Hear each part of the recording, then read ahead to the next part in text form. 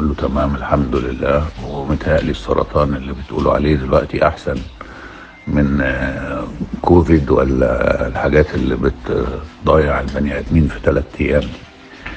آه، أقول لكم إيه بس. الحمد لله كل اللي يجيبه ربنا كويس وأنا بخير لحد دلوقتي والحمد لله. وقاعد في السخنة. مش عارف أقول لكم إيه غير كده. شكرا. السلام عليكم. في حزن وسع المدى في وجع شواق عميق.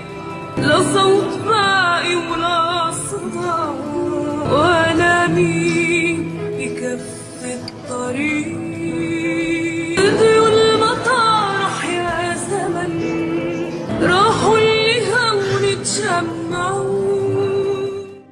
بعد قصة الفنان المصري هشام سليم اللي كشف عن تحول بنته نورة لابنه نور كشفت الفنانة يسرى لأول مرة عن موقفها تجاه الموضوع ده واللي تربطها بيه علاقة أسرية قوية لأنه يعتبر نور هشام سليم هو ابن أخو جوزها خالد سليم.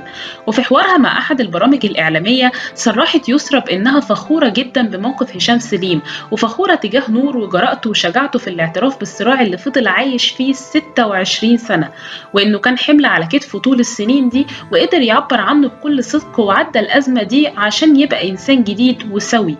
ووصفت يسرى بأن هشام سليم أب رائع ووقف جنب ابنه في عملية التحول اللي مر بيها وبقدر ما كانت الخطوة دي صعبة بقدر شهامته وأصبحت حكاية مختلفة جدا عن المعتاد وأن تعاطف الجمهور جه من منطق أن الأمر ده بإيد ربنا سبحانه وتعالى ونور من أجدع الشخصيات. وللذكر الفنان هشام سليم فاجئ الجمهور بتصريحات صادمة بعد ما كشف عن تفاصيل تحول بنته نورة لابنه نور لأول مرة لما كان مستضاف في برنامج شيخ الحارة والجريئة مع إيناس الدغيدي من كام يوم وتصدر اسم هشام سليم وبنته نورة كل السوشيال ميديا وكل قوائم البحث. بعد ما كشف التصريحات دي وعن إجراء بنته لعملية التحول الجنسي وأصبحت ذكر بعد ما كانت أنثى واسمها دلوقتي نور. وقال بنتي نورة بقت دلوقتي ابني نور وربنا اللي عايز كده وهي بتتحول جنسيا حاليا وأنا مستغربتش ابدا إنها تتحول جنسيا لإنها من ساعة ما اتولدت وأنا كنت شايف إن جسمها ولد وكنت على طول بشك في الحكاية دي.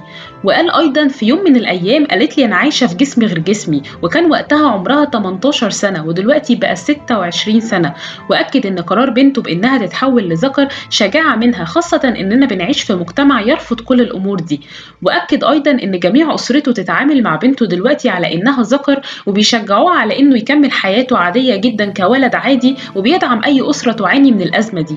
وقال عايزه أقول لله يكون في عون الابن اللي كده أو البنت ويكون في عون أهلها. وأنا كأب مهما حاولت مش هقدر أفكر زي ما ابني بيفكر دلوقتي. وحقيقي الموضوع ده تلقى من الجمهور دعم كبير جدا وكتير من الفنانين أثنوا على تفاهم هشام سليم وحلوا للأزمة بشجاعة وذكاء.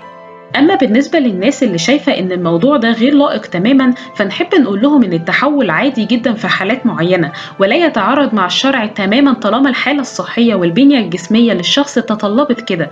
فنرجو من الناس اللي بتهاجم تقرأ أكتر عن الموضوع وتعرف أساسه من الصحة علشان ما نجرحش مشاعر مريض نصيبه في الدنيا كده.